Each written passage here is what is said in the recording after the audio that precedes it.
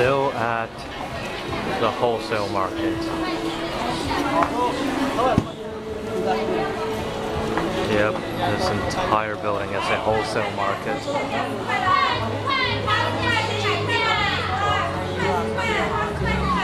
Yeah.